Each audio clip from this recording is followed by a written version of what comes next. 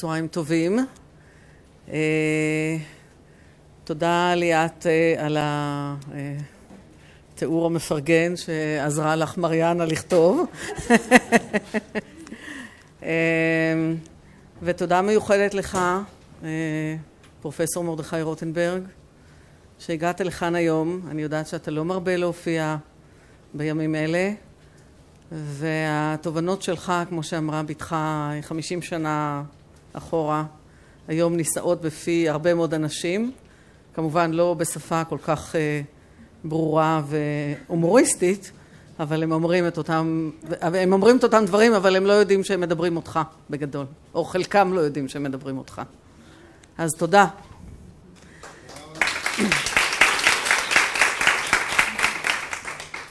אז, ואני שמחה שאתה, מה זה, חנל? כי בתור חנל אתה פשוט מדהים, אז...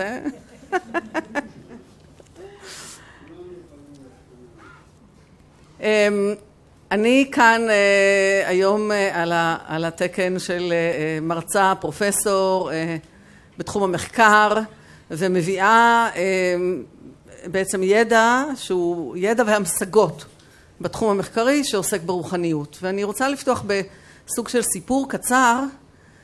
לאורך השנים מאז שנהייתי ידועה לפחות בשדה האקדמי כפרופסור רוחניות כזה כן הרוח הזאת אבל עם הרגליים על הקרקע תאמין לי.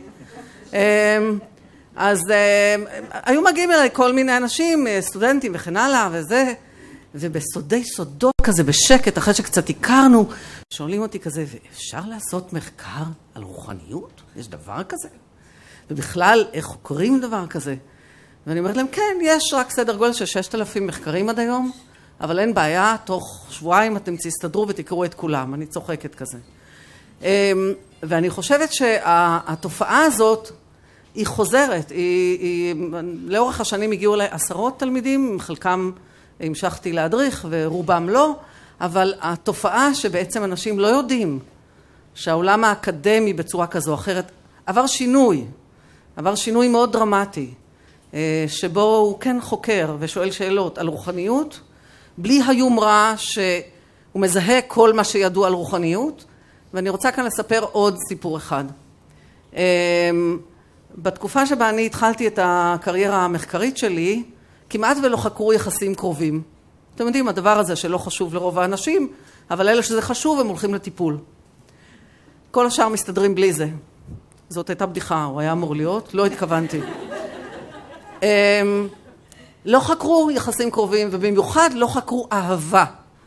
כי אהבה זה דבר כזה פלאי מיוחד. זה מתאים למשוררים זה מתאים לציירים זה מתאים לאנשי ספרות אולי מחול אולי תיאטרון אבל מחקר יהרוג את זה. ואכן שנים לא היה מחקר על אהבה. עד לפני כחמישים שנה לא חקרו אהבה חקרו המון דברים אחרים בעיקר בעיות. אבל אהבה לא חקרו. ואחד הדברים המאוד מעניינים בהקשר של זה שהיה איזשהו מאמר שאני עד היום שומרת אותו שבו באחד מכתבי העת המאוד מפורסמים הם כתבו אסור לחקור אהבה. לא, לא אי אפשר. גם אסור לחקור אהבה זה הולך לפגוע בקדושה שלה, במיוחדות שלה, לקלקל לאנשים את הרומנטיקה או כל מיני דברים מהסוג הזה. ואני חושבת שהרבה פעמים אני מקבלת סוג כזה של תגובה בהקשר של רוחניות היום. מאז דרך אגב יש מאות אלפי מחקרים על אהבה ואנחנו יודעים הרבה מאוד על אהבה ועדיין לא יודעים הרבה מאוד על אהבה. בדיוק בגלל החלק הפלאי שבה. ואותו דבר לגבי רוחניות רוחניות בהקשר של החוויה, בהקשר של הפרקטיקה, בהקשר של ההשפעה על האנשים, בהקשר של החיפוש אחר, בהקשר של הקשר שלה לדת. יש הרבה מאוד דברים שאנחנו יכולים לדעת בכלים המדעיים המחקריים, ויש הרבה מאוד דברים שאנחנו איננו יכולים לדעת בכלים המחקריים המדעיים. זה לא אומר שלא צריך לחקור את זה מדעית, זה רק אומר שצריך להיות ענב ולדעת איפה הגבול ואיפה דברים אחרים מתחילים. זה הכל. הם דרך אגב לא רק מתחילים, הם כל הזמן, אבל נגיד כביכול מתחילים. אז אני, עכשיו נראה אם זה הולך, זה לא הולך, אני צריכה כנראה לעשות את זה לשם, זה גם לא הולך, וזה גם לא הולך. אה, ההרצאה הזאת מתבססת על מאמר של דוקטור פנינית רוסונצר ושל איה רייס בגיליון פסיכואקטואליה, שהוא גיליון שלראשונה הסתדרות הפסיכולוגים, מעוז המסורתיות והמרובעות לצורך העניין, פנתה באופן מאוד מדהים, כמובן כוח של יד עליון היה פה, לבקש שאנחנו נקדיש גיליון מיוחד ספציפית לנושא של החיבור בין רוחניות לפסיכותרפיה והדברים שאני מציגה כאן לקוחים חלקם מתוך המאמרים הללו. אז בואו ניקח קצת רוח, אצלי זה בים, יש אנשים שזה במקומות אחרים, נרחיב את הלב ואלה מכם שהם מהשדה היישומי וכשהם שומעים אקדמיה ישר יש איזו אווירת חלחלה אז תרווחו את הלב, לא תהיה ואלה מכם שמהתחום האקדמי וזה יישמע להם לעיתים קצת יותר מדי פופוליסטי גם כן ככה ירגישו נוח לחבר בין שני הקצוות הללו. אז קודם כל משהו על הפער בין רוחניות לבין ההתעניינות ברוחניות בעולם האקדמי כפי שכולנו יודעים הרוחניות כחוויה, הרוחניות כמשאת נפש, הרוחניות כפי שבאה לידי ביטוי בתחום הדתות היא דבר שקיים מקדמת דנא, אנחנו רואים אותה, אבל בפועל בתחום המדעי האקדמי היא יחסית ככה יחסית צעירה. זה לא ילך. במהלך המאה העשרים הדעות הפוזיטיביסטיות שאתה גם התייחסת אליהן שהיו דומיננטיות במדעי ההתנהגות נטו להתייחס לתחום הרוחניות כנושא שהוא לא בר חקירה מה שהזכרתי קודם והיחסים בין הקהילות הפסיכולוגיות והרוחניות התאפיינו במקרים רבות במתח ואי הבנות ידוע יחסית מה שפרויד, זה פרויד פה עם הסיגר המפורסם שלו שהוא כמובן רק סיגר ולא שום דבר, לא סמל גברי כזה או אחר. ראו את הרוח והדת כאשליה או כמו קביים או הנוירוזה האנושית האובססיבית של האנושות. לא פחות ולא יותר. אבל עם עלייתם של תפיסות פוסט מודרניות יש הרבה דברים שהם אולי בעייתיים בעלייה של הדברים הללו כמו התפיסה שאולי אין אמת אחת כמו התפיסה של הרלטיביזם המוסרי ועוד כל מיני דברים כאלה אבל הדבר הזה פתח את הפתח גם לעשות חיבור בין הרוחניות לבין המחקר והמדע ואוקיי התקרבות בין רוחניות למדע קרתה גם בהקשר של תנועה אינטלקטואלית ותרבותית שאימצה וחקרה והתחילה לחקור השקפות שמחברות את הדואליות הזאת בין גוף לנפש ומנסות לראות עוד עוד דפוסים שיכולים להיות. והיום יותר ויותר אנשים פונים לחיפוש רוחני, חלקם לאו דווקא מצומצם אלא באמת אגואיסטי, אבל חלקם גם אולי מצומצם. ומה שאנחנו רואים זה הרבה יותר מחקר גם על ההיבטים הלא דואליסטיים של המציאות בעוד תחומים או בעוד נושאים. אז מהי רוחניות? אני הולכת לתת לכם עוד מעט הגדרה קצרה, כמובן לא ממצה, שטחית, אבל שמאפשרת להבין לפחות חלקית למי שיש לו הגדרות אחרות זה בסדר גמור. אז אני אומרת כאן שאופייה המורכב והרב גוני והמסתורי והעלום של הרוחניות מהווה כר פורה להרבה מאוד הגדרות מסוגים שונים וקצת אולי על המושג של רוחניות, וויליאם ג'יימס החוקר הפסיכולוגי הראשון שעסק בנושאים הללו, התחלת המאה שעברה, השתמש במושג דת אישית כדי לדבר ולתאר את הקשר שלו למשל האישי עם הנשגב וכיום הרוחניות נתפסת כחיבור אישי וחווייתי בניגוד למערכתי או מוסדי או ארגוני אל הנשגב אל הקדוש של הטרנסדנטי ואני מציגה כאן סוג של הגדרה בהקשר של רוחניות. כאמור אני מראש מתנצלת. קודם כל בפני כל ההוגים שעסקו בנושא הזה בזה שאני מציגה משהו מאוד פשטני. ב' כלפי הרוח שהיא הרבה יותר גדולה מכל המילים שבהם אני משתמשת בה כדי לתאר אותה. אבל גם בקהל הזה שוודאי יש עוד גישות. ואני מציגה שלושה אלמנטים שהם בולטים בחלק גדול מאוד מההגדרות של רוחניות.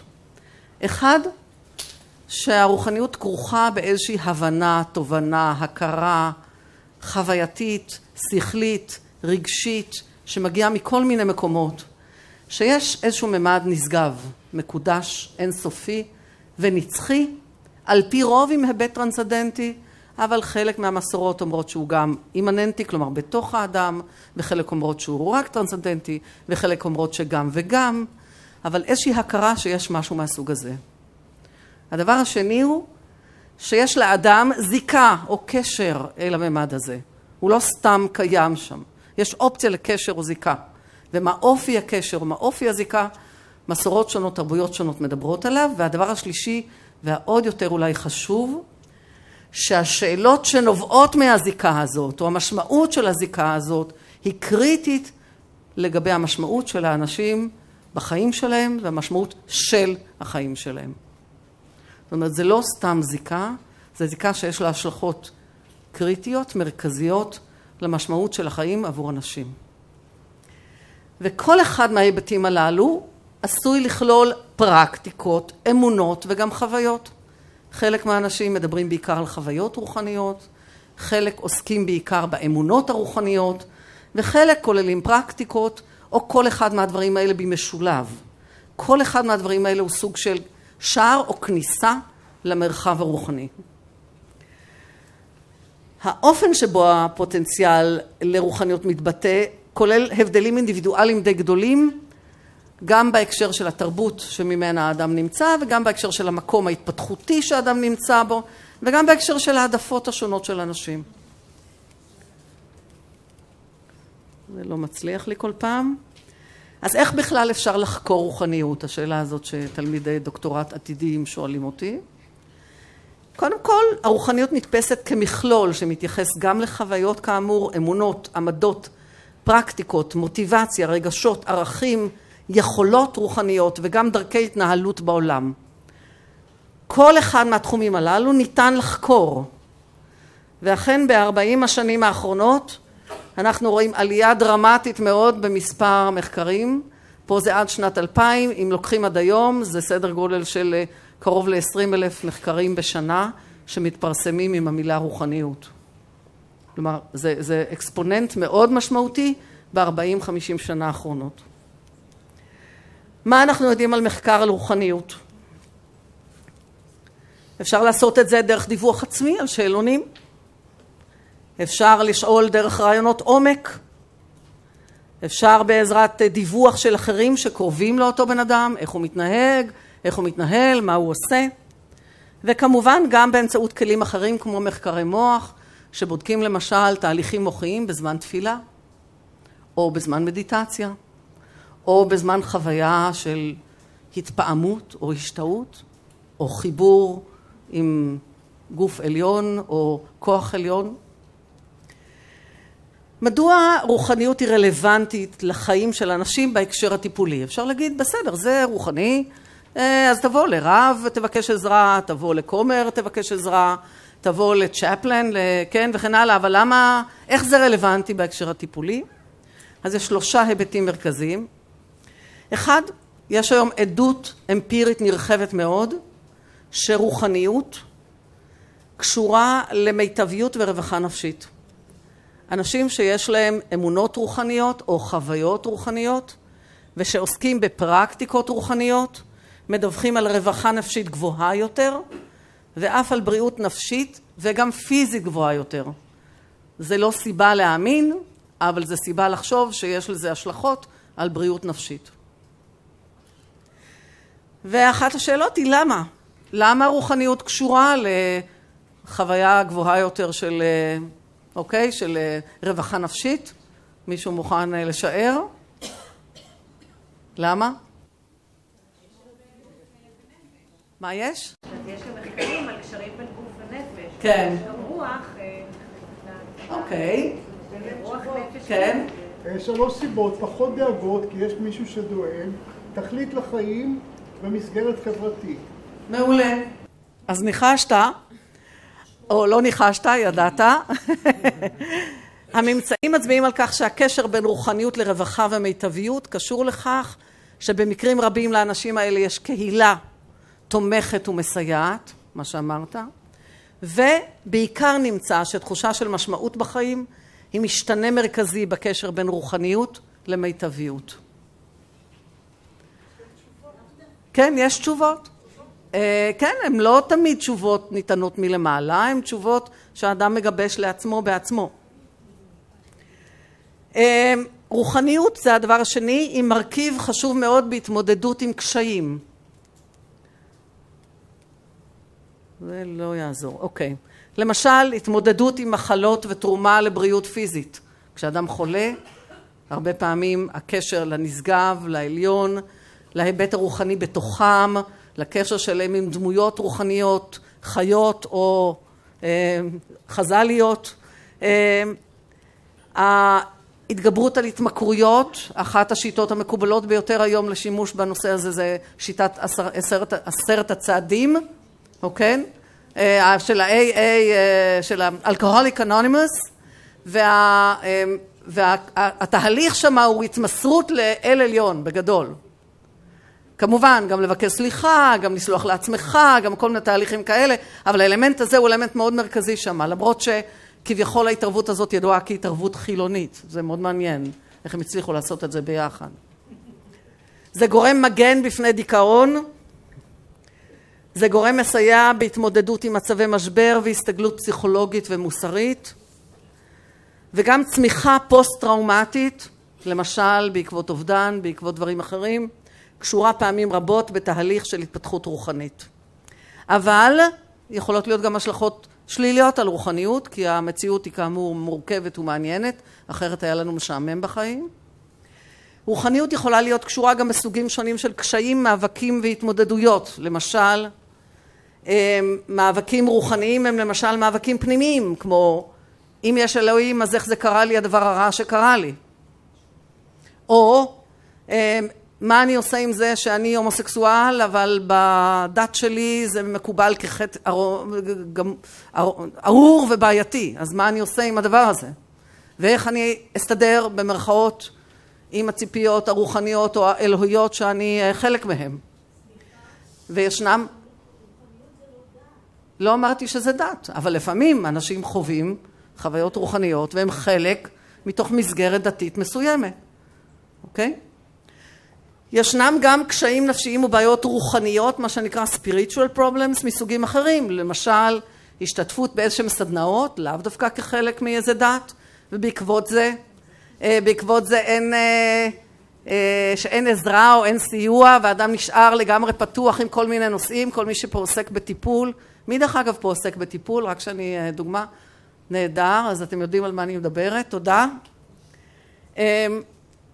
רוחניות גם קשורה למשמעות ולשגשוג, כלומר לא רק מטפלת בקושי או בבעיה, אלא גם קשורה מאוד לשגשוג מהסוג של תחושת משמעות, חוויה של אותנטיות ואיזון, תחושה של שלווה פנימית וגם התנהלות פרו-חברתית. הרבה פעמים יש טענה שאנשים רוחניים או רוחניים הם מאוד אגואיסטים, הם משקיעים רק בעצמם וכן הלאה, לא שאין כאלה, חלק מחבריי הטובים.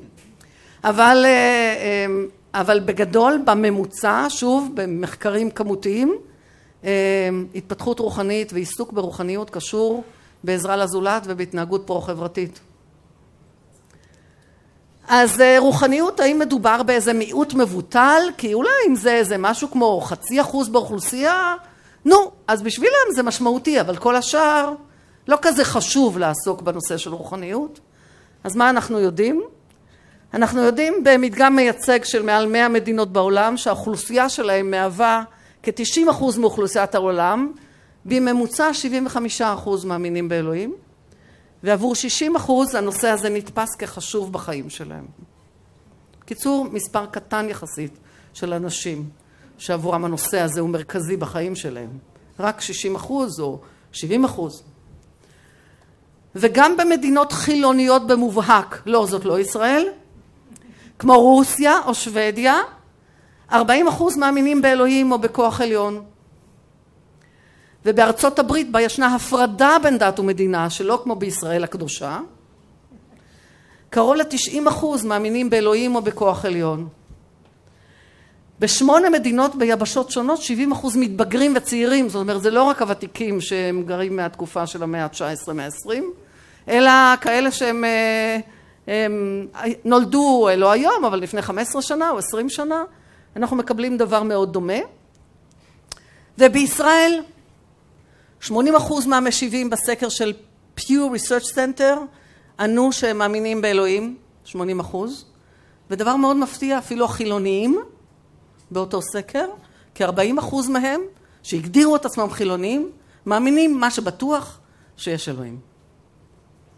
אז אני אומרת את זה, הוא כוח עליון.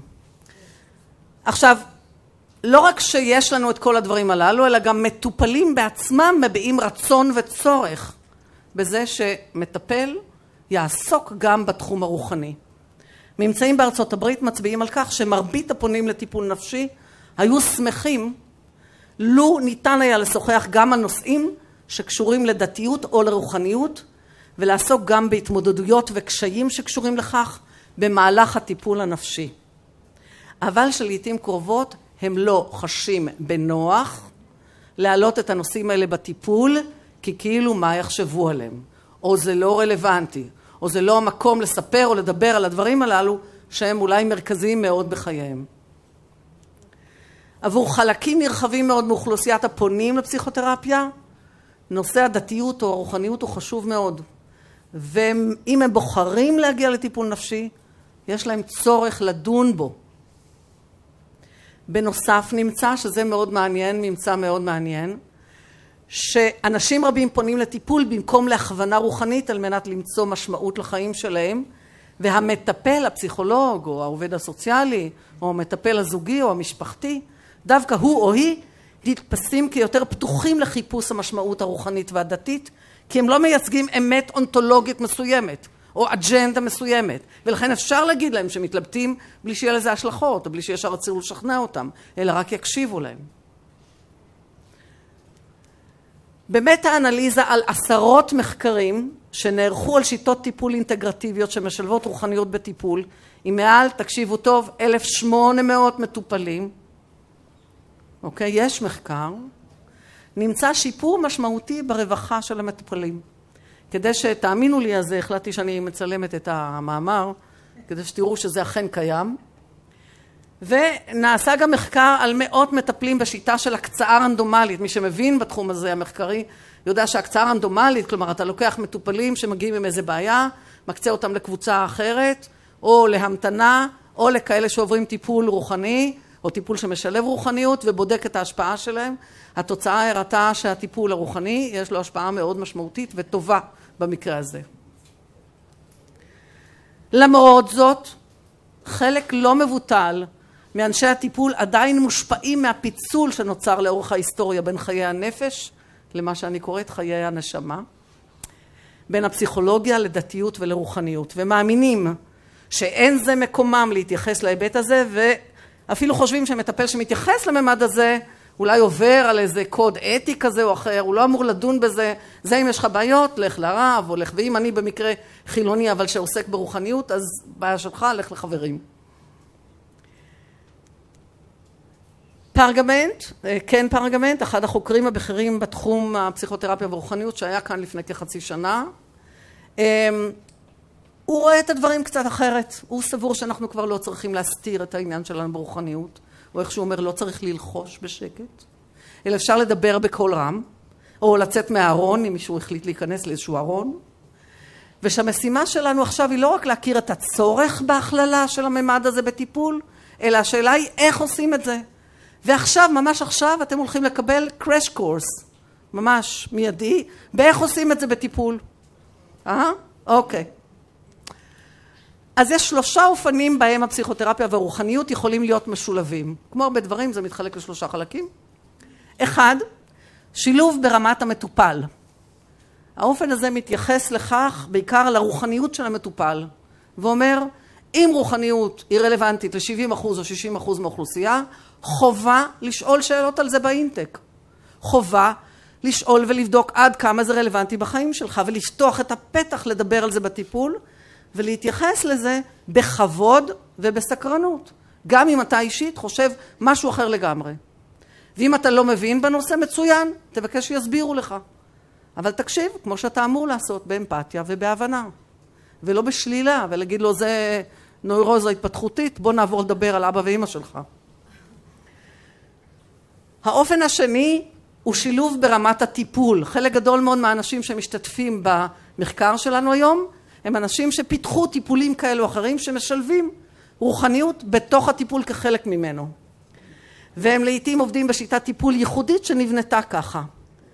לפעמים מדובר בטיפולים שהם טיפולים קונבנציונליים כמו CBT, כמו אה, טיפול פסיכואנליטי, שמשלב מכניס פנימה איזה מודולה כזאת או אחרת שהיא מודולה רוחנית, ולפעמים זה שיטות שפותחו באופן נפרד. והדבר השלישי, או הרמה השלישית, שאני אגיע לזה, אוקיי, או לא, כנראה כן, אוקיי, זה שילוב ברמת המטפל. המטפל בעצמו, גם אם הוא לא מכניס רוחניות באופן פורמלי, אבל הוא בעצמו אדם רוחני, במובן שהוא מודע לזה, כי כולם רוחניים, אבל שהוא עוסק בזה, שזה משמעותי בחיים שלו, מביא את עצמו לטיפול עם כל מה שהוא, לא רק בהיותו גבר או אישה, בהיותו נשוי או לא נשוי, בהיותו בן להורים קשים או בעייתיים או טובים או לא חשוב מה, הוא מביא גם את עולם הרוח והרוחניות שהולך איתו, אם הוא אכן מודע לו.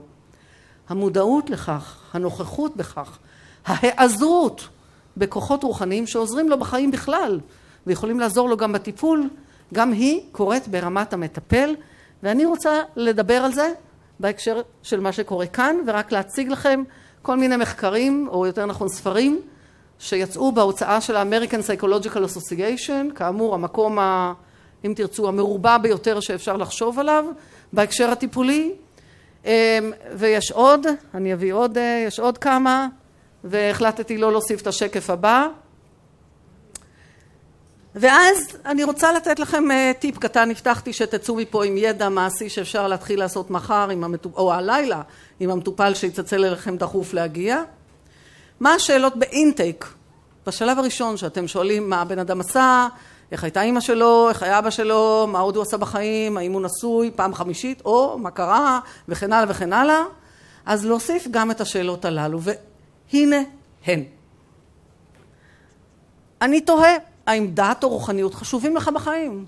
זה הכל. אתם לא אומרים לו שכן, אתם לא אומרים לו שלא, אתם רק שואלים. אוקיי? חמותי ככה היא הייתה מעצבנת אותי. את אומרת, אני רק רוצה לשאול. אני רק רוצה לשאול. אז למה הכוסות פה ולא שם? רק אני שואלת. אוקיי, אז הדבר השני, האם יש אמונות או מנהגים דתיים או רוחניים שבמיוחד עוזרים לך להתמודד עם קשיים? בקטנה. לא? עוד לא הצהרתם שאתם עובדים את הרוח כל בוקר וכל ערב, רק אתם שואלים. האם אתה משתייך או משתייכת לקהילה רוחנית או דתית כלשהי? והאם יש לך צרכים או דאגות רוחניות או דתיות שאני יכולה לעזור לך בהם? ארבע שאלות קטנות. כל אחת מהן יכולה לפתוח פתח ובעיקר, גם אם מישהו אומר לך לא על כל הדברים האלה, זה לגיטימציה להעלות את זה בפגישה ה-37, כשפתאום מסתבר שהם הכי מרגישים רע בגלל שהם עשו משהו שאלוהים יעניש אותו עליהם. ולסיום, מה שנקרא הערכה מרומזת. כן פרגמנט אומר שהרבה פעמים הוא נוגע בנושא של רוחניות, תוך כדי טיפול בהקשר של כל מיני דברים, בשאלות שהן הערכה מרומזת על רוחניות, הוא לא שואל ישירות, הוא שואל גם כאילו באופן עקיף, אבל השאלות האלה שאלות מאוד יפות, ולכן, כיוון שיושבים פה אנשים שנושא הרוחניות לפחות מעניין אותם, אחרת הם לא היו מגיעים לפה היום, אני מציעה לכם שתסתכלו על השאלות האלה, תחזרו לנשימה עם הרוח מהתחלת ההרצאה שלי, ותנסו לראות איך אתם עונים על השאלות האלה. אני יכולה לומר לכם כל פעם שאני מסתכלת עליהן, ויש לי תשובה קצת אחרת, אני מזהה משהו שזז אצלי בנפש נשמה שלי. אז אני מזמינה אתכם לעשות את זה. מתי היית הכי מאושרת? מה שעולה באופן מיידי מהבטן.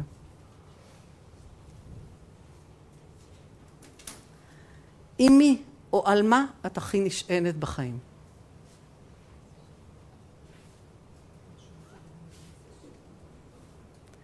למי את מבטאת אהבה בצורה הכי חופשית? נכדים, נכדים, תאמינו לי. מתי הרגשת חיות, ויטליטי, בצורה הכי עמוקה ומלאה? יופי של שאלות, נכון? כן, פרגמנט, מדהים, מדהים. רק רציתי לשאול גם גברים את לא, אני בכוונה מנסחת את זה באישה, כי בדרך כלל מנסחים את זה בלשון גבר, ואומרים, אבל זה מיועד לשני המינים. אוקיי. מי או מה תומך בך בזמנים קשים? ואחרון הכי חביב לי, ברבדים הכי עמוקים שלך או שלך. מה הכי מזין ומחזק אותך? מה הכי מזין ומחזק אתכם? זה שאלות שלא מזכירות את המילה רוחניות, או דת, או חיבור ביניהם, או אי החיבור ביניהם, או את הקרקע לעומת הרוחניות, אבל הן שאלות שבצורה כזו או אחרת, באופן מרומז, נוגעות בנושאים שהם נושאים רוחניים. אז אני מקווה שפתחתי לכם שערים שונים, מסוגים שונים, לרוח בפסיכותרפיה ולראש השנה. ואני רוצה להודות באהבה ובתודה לכל ידידיי ועמיתיי, כאן ובעולמות מקבילים. תודה.